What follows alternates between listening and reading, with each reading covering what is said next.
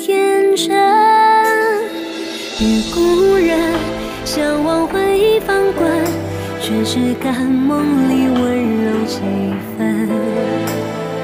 这一吻，与你情节沸腾，沙华里温存，扰乱星辰。将你书作人书山河万程，伤与心团，胡言。乱世多一个，一相是真话永恒。共赴这征程，等繁华几寸，重写人生，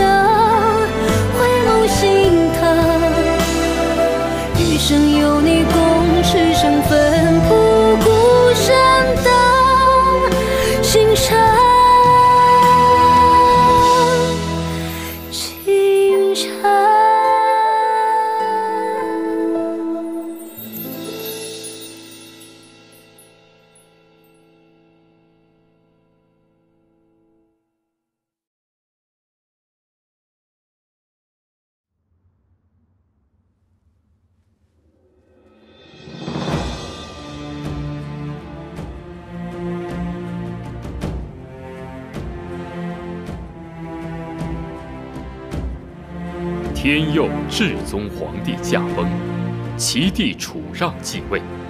不久之后，至宗次女九龄公主奉旨下嫁武德司统领陆云奇。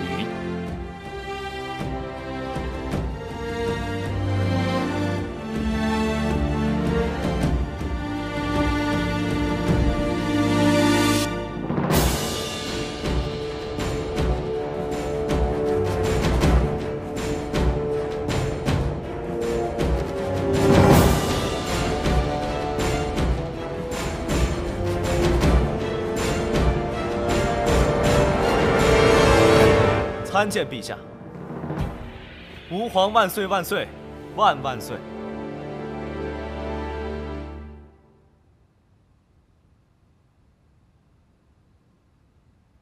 九龄莫不是有何委屈啊？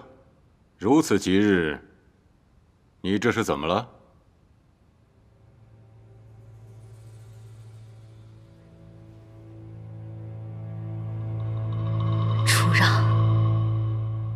为何要害我父皇？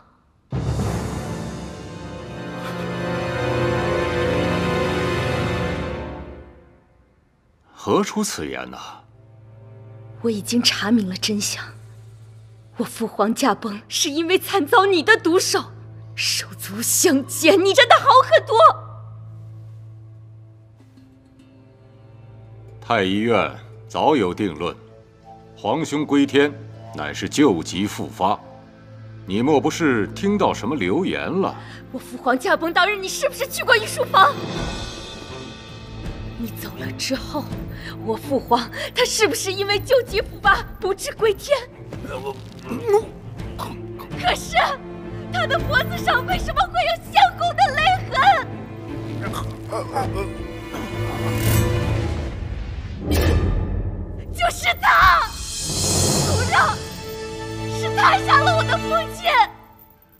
你是受何人挑唆了吧？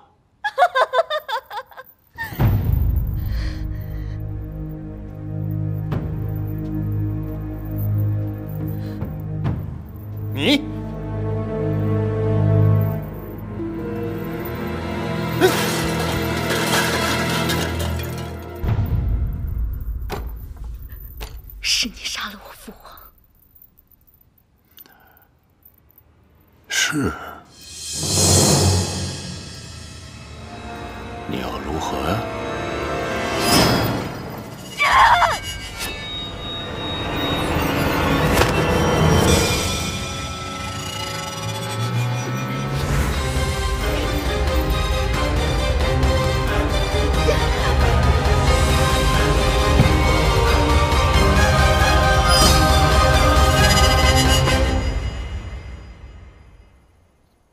九灵告密的人是谁？查到了吗？九灵怎么样了？禀陛下，动了大刑。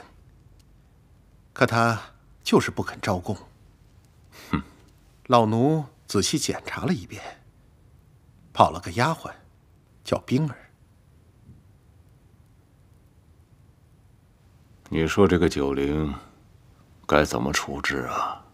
这个，呃，陛下心里一定早有决断。老奴只是担心，这个楚九龄有个姐姐和弟弟，他们三人会不会共同参与了此事啊？不会，他们姐弟三个里头，九离最是单纯，这九荣尚未成年呢。只有这个九龄，冰雪聪明，心思缜密，最得我那个皇兄的宠爱。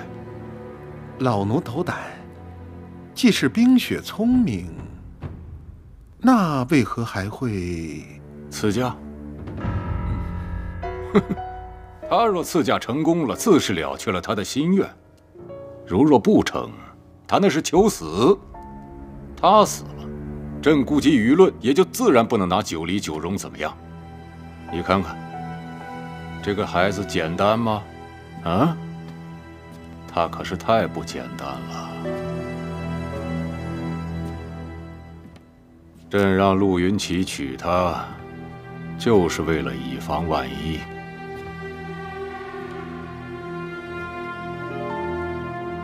既然他不说，那就没必要再问了。老奴明白。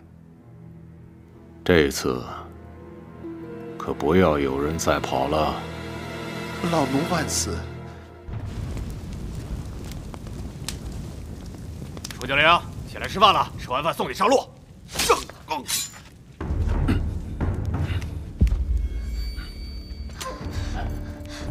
父亲，外面狱卒迷晕了，咱们得快。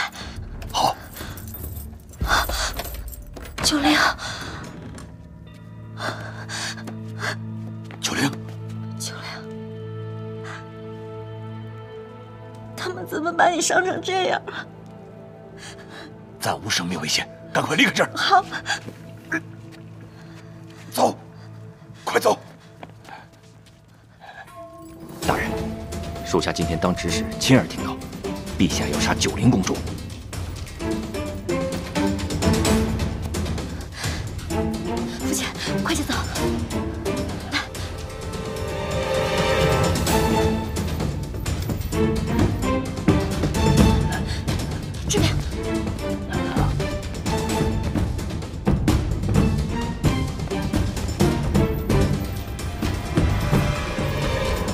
等等，父亲，武德寺的人发现九灵不见，一定会搜查整个京城，到时候我们谁也逃不了。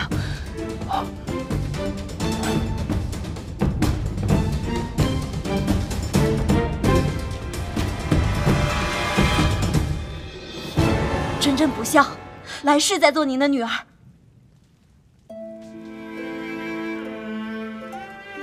九龄，我们随父亲学医数载，早已是一家人。先皇对君家恩重如山，如今能有机会报恩，是我君家之幸。你要替我好好活下去。遭追了！怎么样？快快快快！拿水，快救火！是大人。快快快快！快点，快救火！快快点！小梁，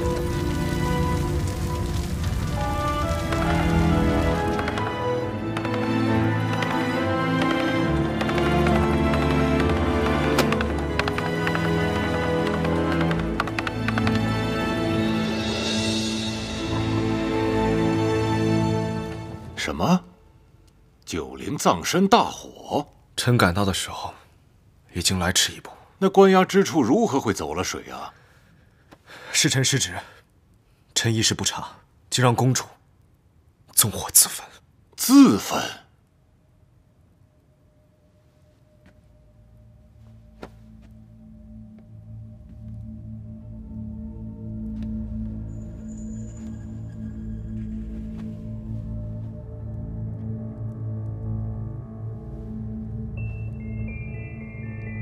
九灵是朕最喜爱的一个侄女儿，打小就乖巧懂事。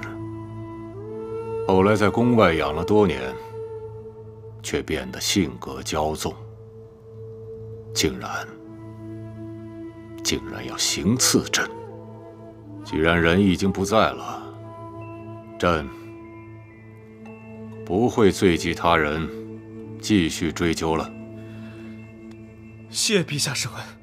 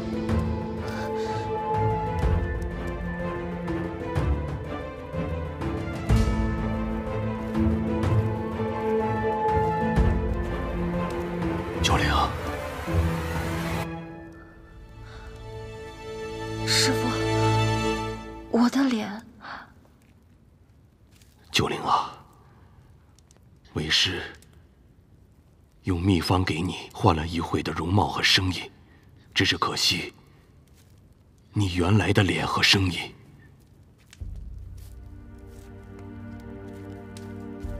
师傅，真真呢？真真她已经走了。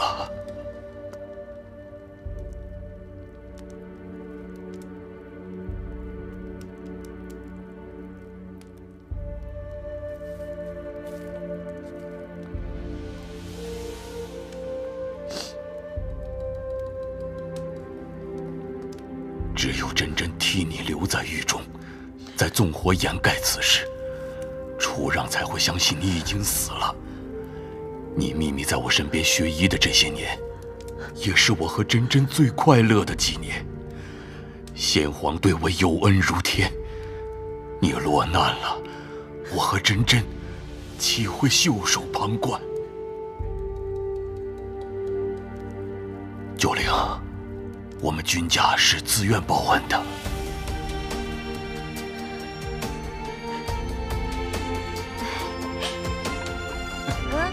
嗯，是。嗯。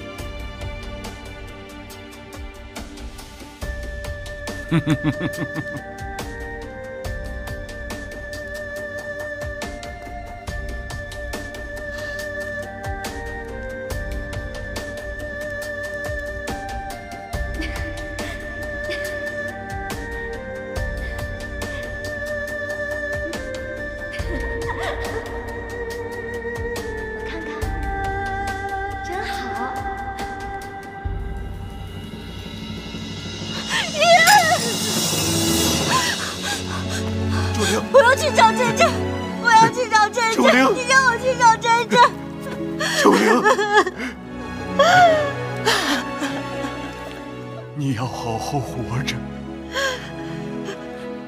不要辜负真真的一片心意啊！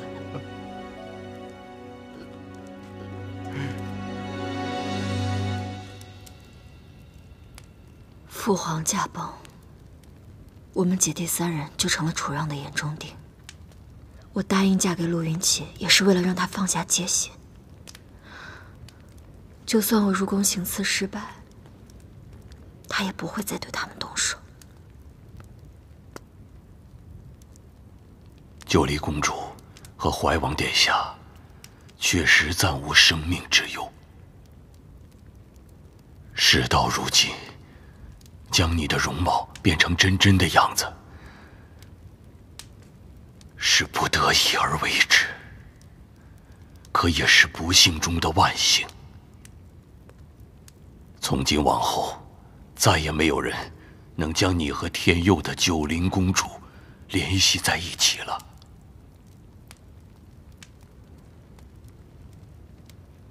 师父有所不知，父皇的贴身侍女曾经告诉我，父皇是惨死在楚让手中。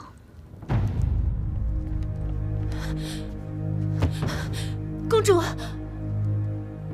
冰儿，你去哪儿了？所有人都在找你。公主，奴婢冰儿有要事回禀。先皇骤然驾崩前，陛下曾带着陆统领秘密入宫，而且而且与先皇发生过口角，争执的很厉害。争执？他们因何事而争执？奴婢不知争执原因，但我亲眼看见，先皇驾崩后脖子上有勒痕，绝不是太医所言旧疾复发。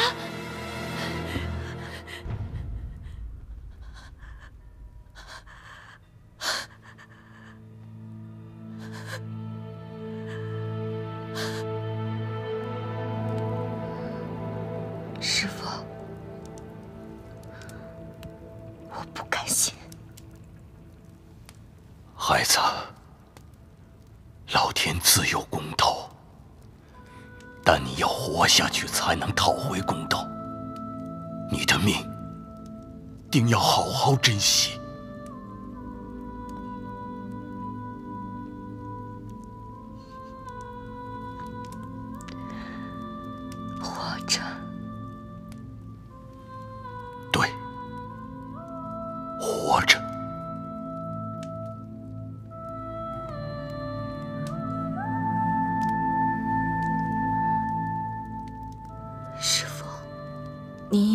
失去了女儿，以后我便是君真真。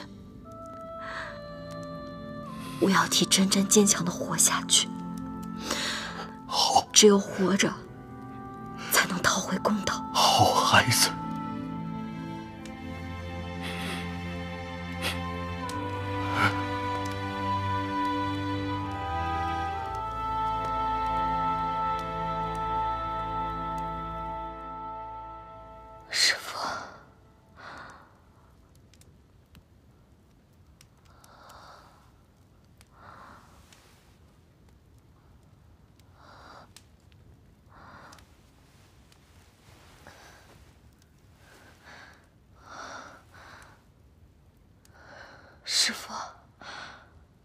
师傅，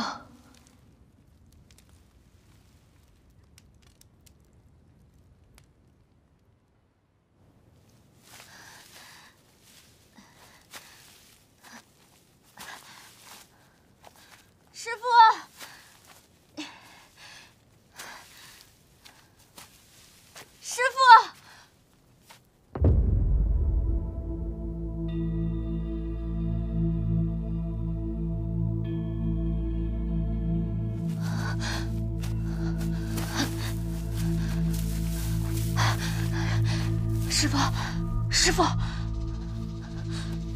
师傅，师傅，师傅，师傅，师傅，你醒了！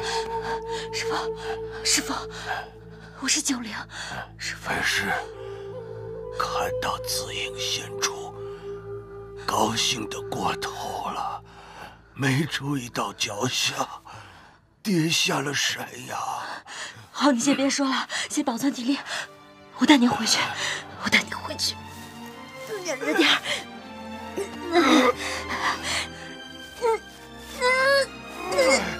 小玲，师傅，没用的，没用的。来人，九玲，来人，九灵，这是我们君家祖传的玉佩，你拿好了。你记住，以后你不再是楚九龄，你就是君真真。我不，我谁也不是，我只要师傅活着。你听到了吗，师傅？如今有件事必须交代于你。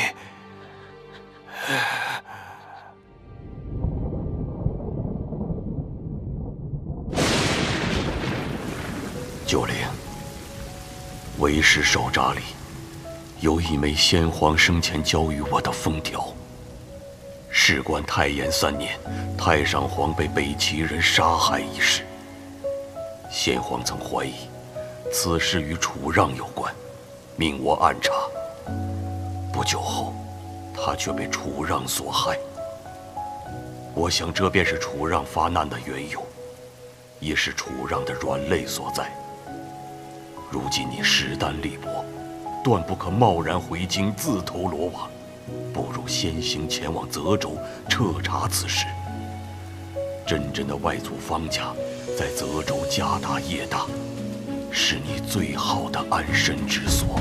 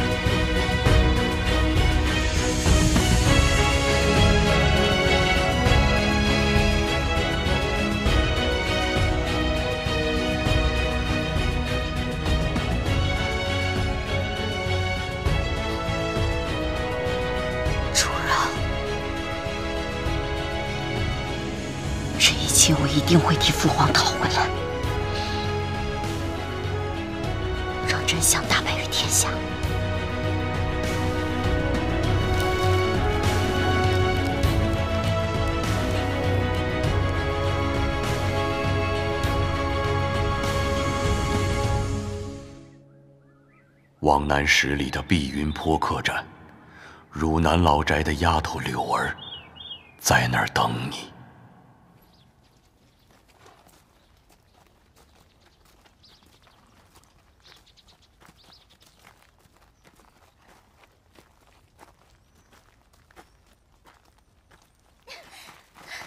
放开我光天化日的，你们要干什么？干什么？卖了你给我抵房钱。嘿，还有没有王法了？我要去官府告你们！你骗吃骗喝一个月还要告我？谁骗你了？我们家老爷小姐肯定会来的。要不是我钱袋被偷了，谁会欠你们房钱啊？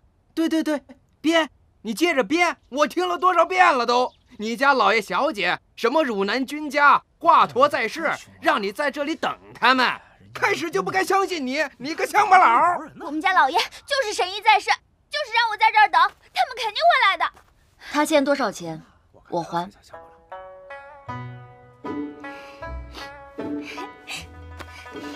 小姐，我总算等到你了。这么多年没见，你长得越发的好看了。从老宅跟出来的那些人都不愿意等了，他们抢了我的钱袋跑了。现在好了，我跟你在一起，就没有人能欺负我们了。柳儿不哭，你这些日子辛苦了。我接下来要去投奔外祖方家，如果你愿意，可以和我一起。愿意的，愿意的。小姐去哪儿我就去哪儿。只是，那方家是商户之家，我怕您去了泽州之后会觉得委屈。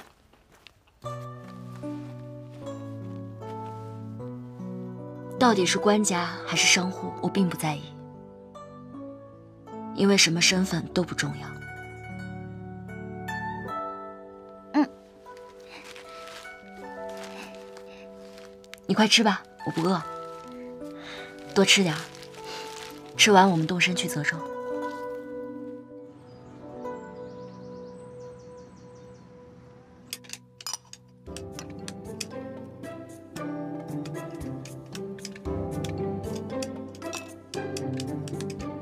手劲这么大，跟着算盘欠你银两似的。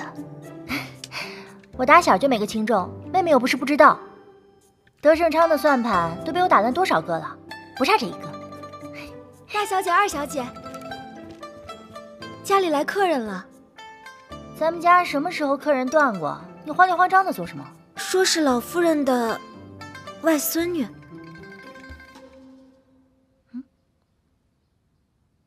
祖母什么时候有个外孙女了？我怎么没印象？我好像听母亲提过，但是已经很久不来往了。很久不来往的人突然找上门。肯定有事儿啊！走，看去。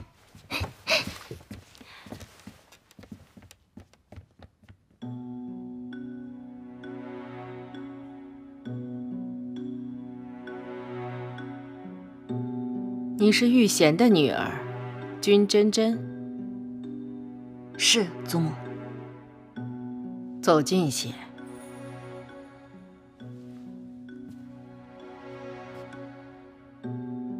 你长得并不像玉贤，兴许像你的父亲。玉贤出嫁到汝南，便再没有回来。玉贤走了这么多年，消息传来的真真假假，分不清楚。你母亲是怎么亡故的？母亲走的那年，我才三岁。她是不幸感染了风寒，治了大半年也没好。没熬过那年冬天，便走了。祖母啊，姑母的事儿咱们都不知晓啊。她这空口无凭的，怎么能认定她就是君家的孩子啊？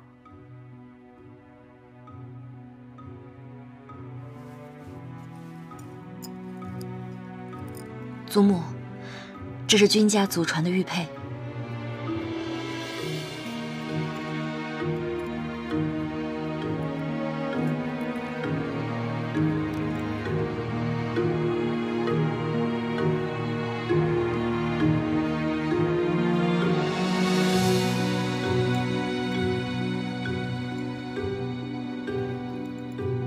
真真，不是舅母苛责，你也说了这是君家的玉佩，你还有没有别的物件？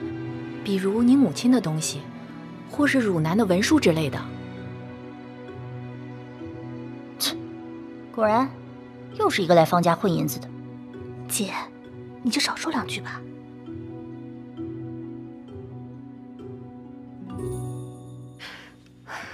母亲，不如这样吧，先让真真住下。我们再差人去汝南打听，假的真不了，真的也假不了。若是这样对峙下去，怕是会寒了孩子的心啊。嗯，那就先住下吧。锦绣，你派人到西阁的院子打扫打扫。你们大家也都下去吧。我再跟他聊聊。是。玉贤离家的时候什么都没带。就带了一个镯子，那是我传给他的。他很喜欢这个镯子。出嫁前，他经常开玩笑说要把这镯子留给他孩子。这镯子他留给你了吗？母亲走的时候，父亲难过不已。那只镯子给母亲陪葬了。你还记得那是一个什么镯子吗？老夫人的首饰多为翡翠，想必他是偏爱翡翠的。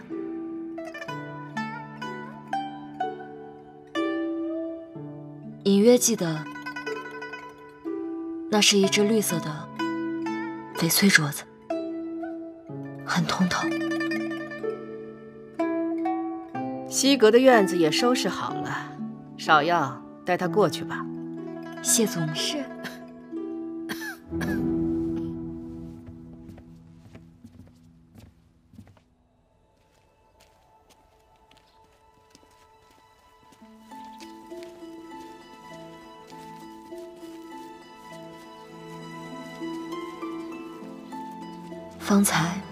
不过是落脚方家的第一关罢了，但要想在这里真正立足，并非易事。眼下我必须寻找时机，赢得方家人的信任。真真，愿你在天之灵保佑我，尽快查清泽州隐秘。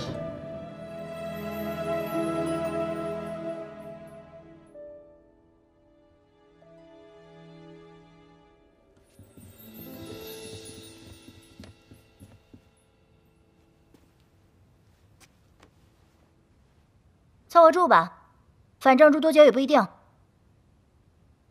真真，姐姐就是这样的性格，你千万别往心里去。什么真真啊？等确定了身份再说。你现在可别乱人亲戚啊！走走，给脸不要脸。柳儿，你说什么？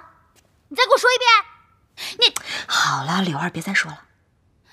小姐喊他一声姐姐，自己偷着乐就是了。谁愿意认你们这门亲戚？好没规矩啊！有什么样的主子，就有什么样的丫鬟。谁没规矩啊？有些人就得骂，好好说话。他们说什么？干嘛呀？好了，姐，柳儿，别再说了。姐，咱们先回去吧。姐姐默契是真真教导无方。我我们先走了，走吧。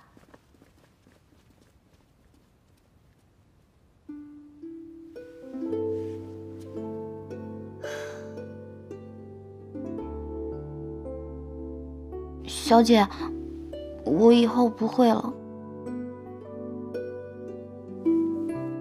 你呀，我们刚到方家，要谨言慎行才好。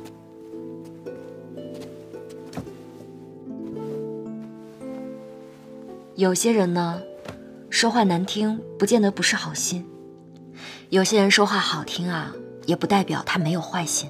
什么难听好心？好心又不分，小姐，你把我给绕晕了。你渴了吧？我给你找杯水喝。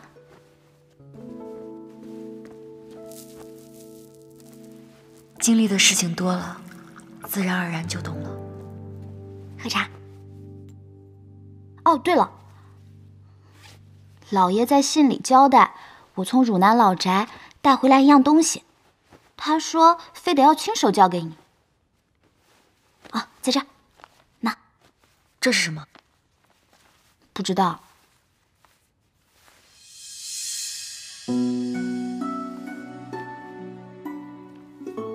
这写的什么呀？如此重要。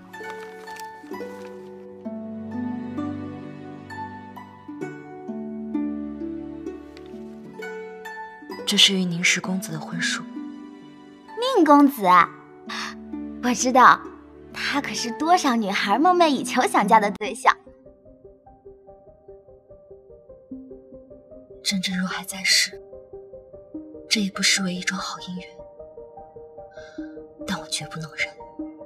小姐，你不用害羞，咱们全府上下谁不知道这是一门好亲事啊？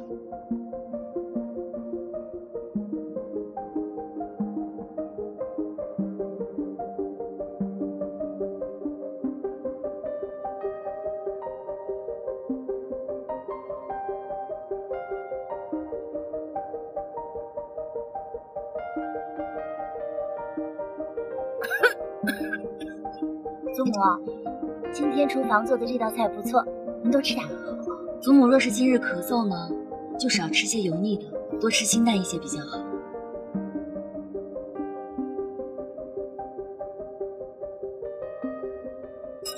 君真真，你故意挤兑我是不是？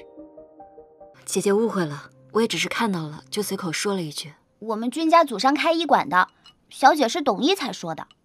你父亲让你成了家。传医术是，有义棒在身是好事儿啊，但以后啊就不要学了，跟着姐姐们学做生意吧。我们小姐喜欢什么就学什么，为什么非得学经商啊？再说方家也不是没有男丁，不还有个小少爷吗？为什么非得女子学经商啊？我们方家的事儿轮不到你一个外姓人指手画脚。祖母，君家是读书人，读书人断不可能养出这种什么规矩都不懂的女儿来。我看汝南的消息不用等了，趁着天没黑透，赶早轰出去算了。汝南的消息不等就不等了，看好了，小姐，咱们的婚书拿出来，让他们瞧瞧，吓掉他们的眼珠子。你倒拿呀！好了，什么婚书啊？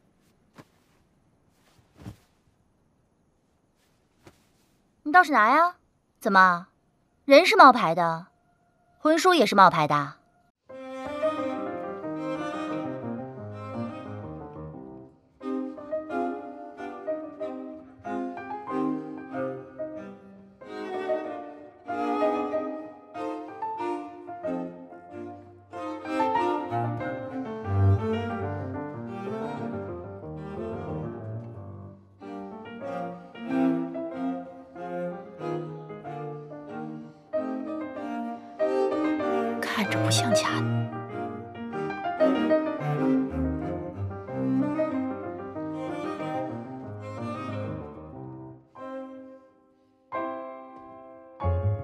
你跟宁家定了亲，是。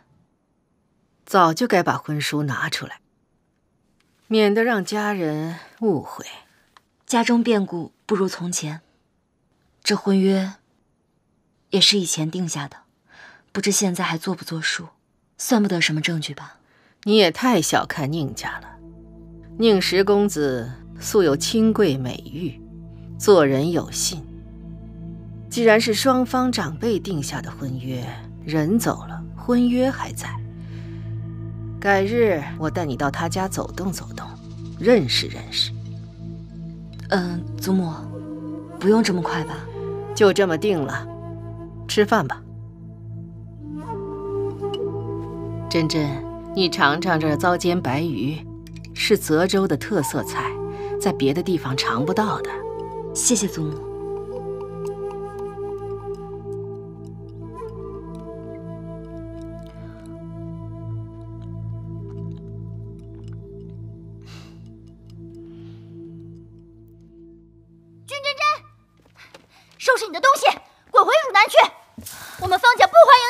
怎么了，锦绣姐姐？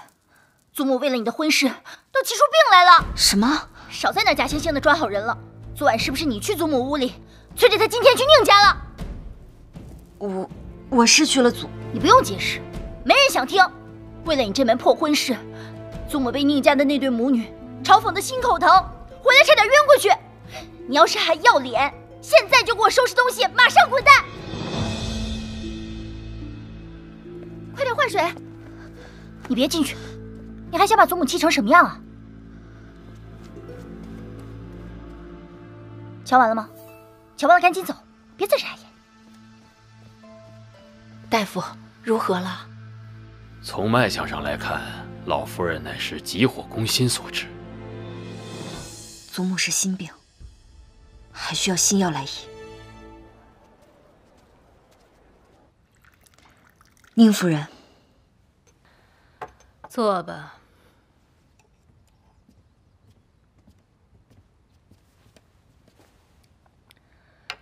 你们家老太君上午已经来过了，你来可还是为了此事啊？正是。灵儿，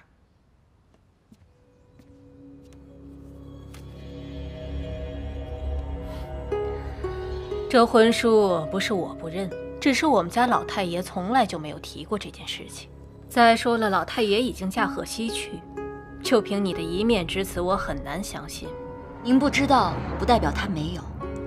这婚书上明明白白有着老太爷的签字，这总错不了吧？结亲是结亲，可不是结仇啊。有的时候做事可不能只凭手段。你纵然一时如愿了，可是你难过的是一辈子。既然如此，那宁夫人打算怎么拿回这封婚书，让我退了这门亲事呢？君小姐，我已经说过了，我们家老太爷从来没提过这事，救命之恩也没提过。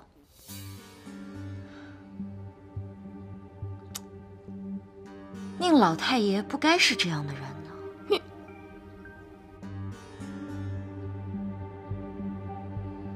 我听闻你们家在这个地方是祖传行医的，想必救过的人不计其数吧？不知这救命之恩得了多少人以身相许啊？君家治病救人，有钱的收钱，没钱的就罢了，这是医者的本分。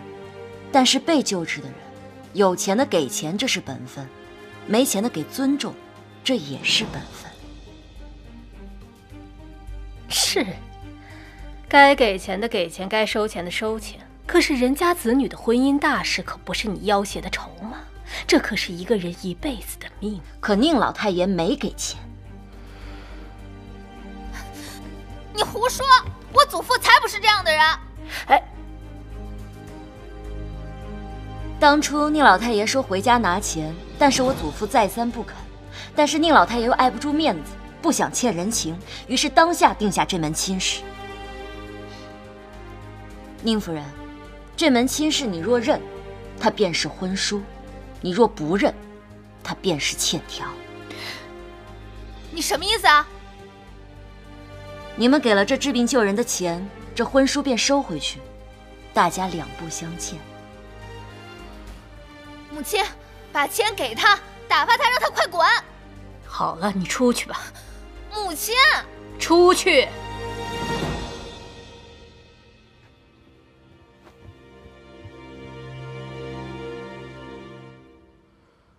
君小姐是不是觉得很委屈？宁夫人也觉得很委屈吧？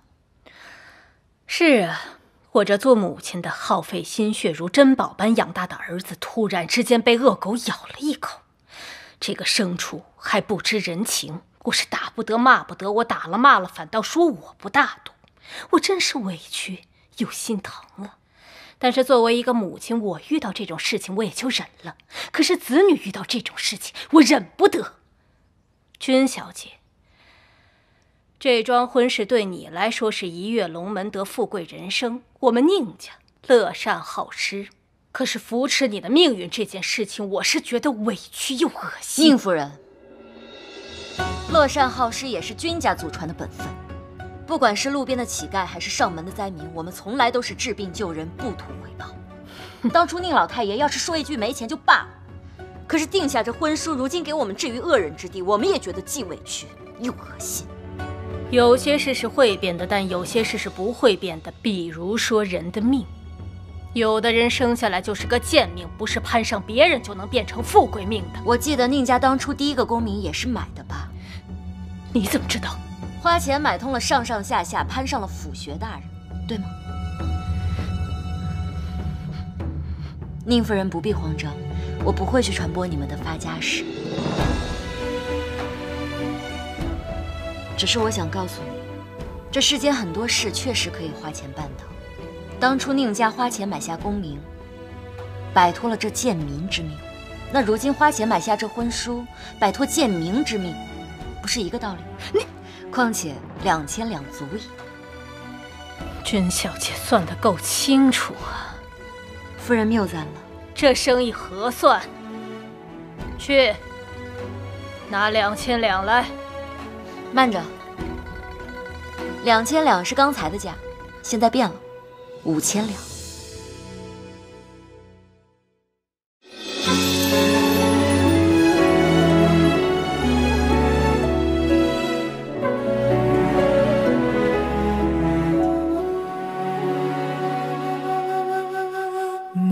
中的轮廓在你面庞雕琢，烟波里时光交错，难言的因果，字字容我斟酌，命途多波折，孰难洒脱。明日何其多，愿将一世交托。共看繁星与山河，许久的承诺，人海两岸相隔，叹一句奈何，余生颠簸。辽阔天是你，风是我，终将被路过，风中追不舍，与天焦灼。你说，声声如雨下落，相见难，相逢。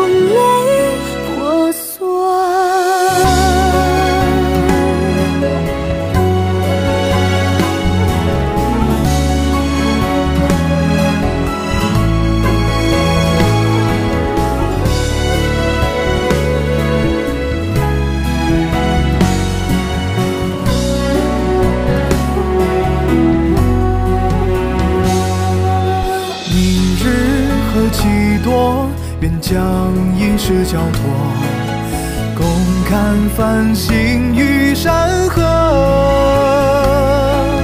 持久的承诺，人海两岸相隔，叹一句奈何，余生颠簸。